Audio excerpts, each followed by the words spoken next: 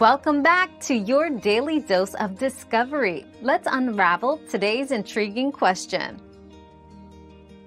Being born with one kidney is generally manageable as long as the single kidney is healthy.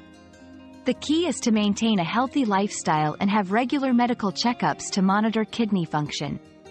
Stay hydrated, avoid excessive salt, and limit protein intake to avoid overworking the kidney. Consult a healthcare provider for personalized advice and follow any recommended screening or preventive measures. Our quest for knowledge never ends. Thanks for being part of today's discovery. Subscribe, like, and share to join us on the next one.